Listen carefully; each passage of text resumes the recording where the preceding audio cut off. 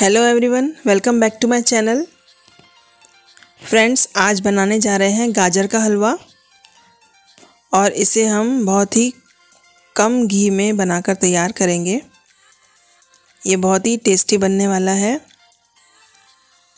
Recipe पूरी देखिए और यदि रेसिपी पसंद आए तो लाइक कीजिए। चैनल पर नए हैं तो सब्सक्राइब ज़रूर कीजिए। चलिए देखते हैं इसकी रेसिपी गाजर का हलवा बनाने के लिए मैंने यहाँ पर आठ से दस गाजर ले ली है और इन्हें अच्छे से धोकर छील लिया था। अब इन्हें मैं कद्दूकस कर लूँगी। कद्दूकस करने के लिए इसे मोटे छेदों वाली साइड से आप कद्दूकस कर लीजिए। इस तरह से सारी गाजर को मैंने कद्दूकस कर लिया है। इसे आप बारीक छेद वाले साइड से कद्दूकस ना करें। गाजर का हलवा बनाने के लिए सबसे पहला टिप यही है कि इसे आप मोटे छेदों वाले साइड से कद्दूकस करें। अब यहाँ पर सारी गाजर को मैंने कद्दूकस कर लिया है। अब आगे का प्रोसेस शुरू करते हैं।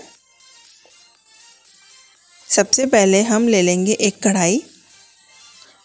गैस की फ्लेम ऑन कर देंगे और दो से तीन चम्मच घी इसमें डाल देंगे।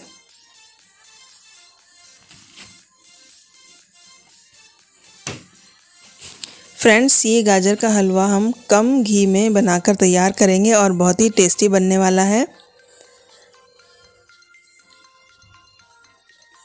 तो यहाँ पर घी गरम हो गया है। अब मैं सारी गाजर इसमें डाल दूँगी। सारी ग्रेटेड गाजर आप इसमें डाल दीजिए। और फ्लेम को हमें यहाँ पर हाई रखना है।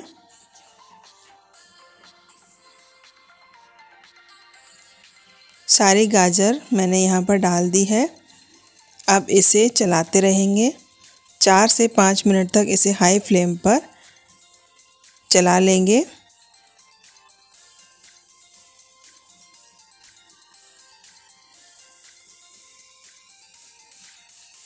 गाजर को चलाते हुए मुझे चार से पाँच मिनट हो गए हैं। अब मैं यहाँ पर दूध डाल दूँगी। एक कटोरी दूध मैंने यहाँ पर डाल दिया है। लगभग डेढ़ कप दूध आप इसमें डाल दीजिए। और इसे तब तक पकाएँगे जब तक कि पूरा दूध एब्जॉर्ब नहीं हो जाता। और यहाँ ध्यान रखने वाली बात यह है कि फ्लेम को हाई ही रखना है। जब दूध पूरा एब्जॉर्ब हो जाएगा तो हम इसमें चीनी डालेंगे। लगभग आधा कटोरी चीनी मैं यहाँ पर डाल दूँगी।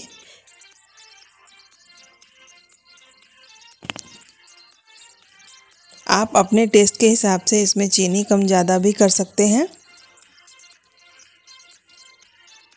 अब इसे भी हाई फ्लेम पर तब तक पकाएँगे जब तक कि चीनी पूरा एब्जॉर्व नहीं हो जाती। पाँच से सात मिनट में चीनी एब्जॉर्व हो जाएगी। इस तरह से पाँच से सात मिनट में चीनी पूरी एब्जॉर्व हो गई है।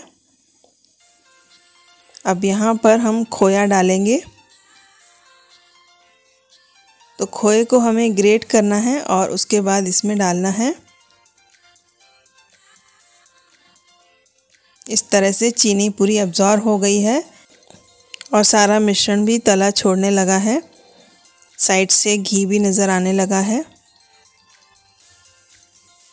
इस स्टेज पर हमें फ्लेम को थोड़ा लो करना होगा।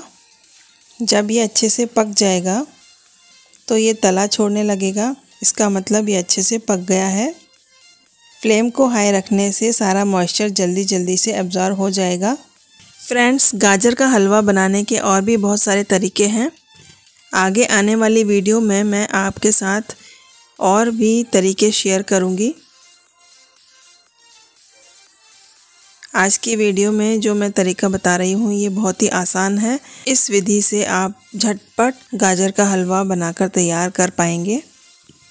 इसमें हमने कम दूध का इस्तेमाल किया है, जिससे हमें समय भी कम लगने वाला है और इस तरीके से हमें गाजर को दूध के साथ घंटों पकाने की आवश्यकता भी नहीं रहेगी। गाजर की और भी बहुत सारी हेल्दी रेसिपीज़ मैं आपके साथ अगली वीडियोस में शेयर करूँगी। हमें अपने खाने में गाजर का रोज़ इस्तेमाल करना चाहिए। अब यहाँ पर मैंने खोया डाल दिया है। लगभग आधा कप के करीब खोया मैंने यहाँ पर डाल दिया है। और इसे मिक्स कर लूँगी। खोए को भी आप मोटे छेदों वाले साइड से ग्रेट कर लीजिए। कद्दूकस के मोटे छेदों वाले साइड से खोए को ग्रेट करके इसमें डाल दीजिए। लगभग आधा कप के करीब खोया मैंने इसमें डाला है। अब इसे अच्छे से मिक्स कर लूँगी। खोया डालकर आप इसे अच्छे से मिक्स कर लीजिए। और यहाँ पर मैंने सात से आठ काजू को टुकड़े करके इसमें डाल दिया है और तीन से चार इलायची को कूटकर यहाँ पर मैंने डाल दिया है। छोटी इलायची को कूट कर मैंने यहाँ पर डाल दिया है। खोया डालने के बाद इसे अच्छे से मिक्स करेंगे और फ्लेम को हम लो कर देंगे। यहाँ पर आप चाहें तो ड्राई फ्रूट को घी में फ्राई करके भी ले सकते हैं, लेकिन यहाँ पर हमने कम घी में बनाया है, इसलिए ड्राई फ्रूट ऐसे ही डाल रही हूँ। आप अपने मन पसंद के कोई भी ड्राई फ्रूट इसमें डाल सकते हैं। और हलवा रेडी होने के बाद लास्ट में भी इसमें आप एक दो चम्मच घी डाल सकते हैं, जिससे कि इसमें शाइन आ जाए। मैं यहाँ पर कम घी में बना रही हूँ। यकीन मानिए, ये बहुत ही स्वादिष्ट बनकर तैयार होता है। आप एक बार इसे ट्राई ज़रूर करें। कम घी में ये बहुत ही स्वादिष्ट हलवा बनकर तैयार है। आप एक बार बनाएँगे तो इसे बार बार बनाने का मन करेगा। ये बहुत ही जल्दी बनने वाला है। इस विधि से आप बनाएँगे तो समय भी बहुत कम लगने वाला है और स्वाद भी बहुत अच्छा आएगा। रेसिपी पसंद आए तो लाइक ज़रूर कीजिए। चैनल पर नए हैं तो चैनल को सब्सक्राइब ज़रूर कीजिए। मिलती हूँ अगली वीडियो में। तब तक के लिए bye bye and take care.